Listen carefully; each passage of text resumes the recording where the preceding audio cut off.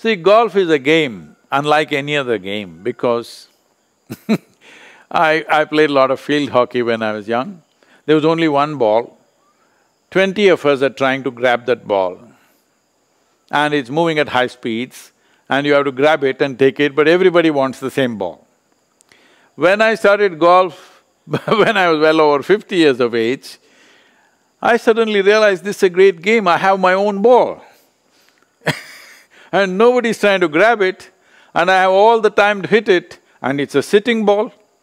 In every other game, ball is coming at you at various angles, velocities, spin, speed, all kinds of things.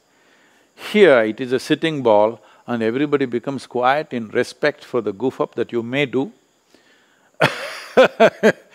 so, to hit a sitting ball, what is the big challenge, I thought.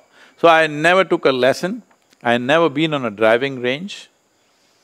It's a sitting ball, I never take a practice swing in the entire eighteen holes, but it's a sitting ball.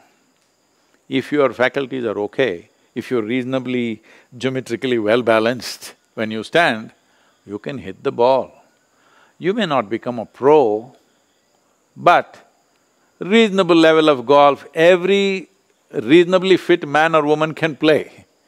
But unfortunately, they have a mental problem. In my understanding of the game, seventy percent of the game is in the mind. So I play only seventy percent. The other thirty percent I never bothered because I don't want to be a professional or be in a competition or something. So I only pay seventy percent of the golf. So I finish, uh, you know, five, six, seven over.